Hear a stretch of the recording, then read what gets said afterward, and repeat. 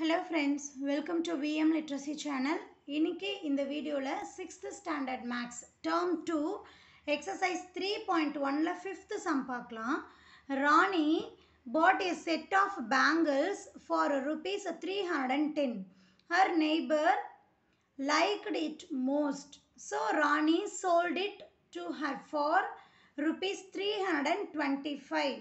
Find the profit or loss to Rani. So Rani அப்படிங்கிறவங்க ஒரு set of bangles வாங்குறாங்க. Three hundred and ten ருபீஸ்க்கு அவங்களுடைய நெய்பருக்கு அந்த செட் ஆஃப் பேங்கிள்ஸ் ரொம்ப பிடிச்சிருக்கு. ஸோ அதனால் அந்த செட் ஆஃப் பேங்கிள்ஸை ராணி சேல் பண்ணிடுறாங்க. Rupees three hundred and twenty ஃபைவ்க்கு ஸோ அவங்களுக்கு ப்ராஃபிட்டா லாஸா அப்படின்னு கேட்குறாங்க ஓகேவா ஸோ இதுதான் நம்ம ஸ்டேட்மெண்ட்டில் எழுத போகிறோம் ஸோ கிவன் வேல்யூஸ்லாம் எழுதுகிறோம் cost price of the bangles பேங்கிள்ஸுடைய cost price எவ்வளவு? காஸ்ட் ப்ரைஸ்னால் அதுக்கு எவ்வளோக்கு வாங்குறாங்க? அதுதான் காஸ்ட் ப்ரைஸ் எவ்வளோக்கு வாங்குறாங்க?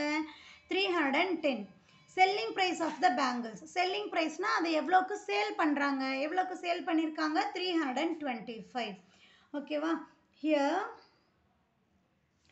compare to selling price and cost price ரெண்டு வேல்யூவும் கம்பேர் பண்ணோம்னா எந்த வேல்யூ கிரேட்டராக இருக்குது செல்லிங் ப்ரைஸ் வந்து கிரேட்டராக இருக்குது ஓகேவா ஸோ இந்த இடத்துல நமக்கு என்ன கிடச்சிருக்கு? ப்ராஃபிட் ஓகேவா ஸோ இங்கே நமக்கு ப்ராஃபிட் அப்படிங்கிறதுனால நாம் ஃபைன் பண்ண வேண்டிய வேல்யூ ப்ராஃபிட் தான். லாபம். நம்ம லாபம் எப்படி கண்டுபிடிக்கிறது? ஜாஸ்தியான வேல்யூலேருந்து கம்மியான வேல்யூவை மைனஸ் பண்ணோம்னா நமக்கு எவ்வளோ லாபம் அப்படின்னு தெரியும்.